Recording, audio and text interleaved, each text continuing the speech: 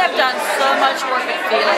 I never, ever. He always astounds me, always overachieves, always, always does better than the last time. I'm talking big time party, big time. Happy